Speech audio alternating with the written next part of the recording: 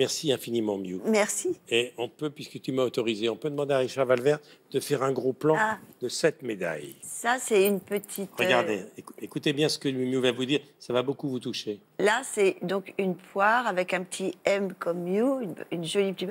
Et c'était offert par Jean-Pierre Coff, qui était mon grand ami. Et quand je, je fais des petites blagues comme ça, je me dis Allez, je t'emmène. Ça va être familier pour toi ce décor, je t'emmène, puisqu'il était là tous les tous les Il était là pendant des années. Et voilà, la petite Voilà. anecdote. Merci, Miu.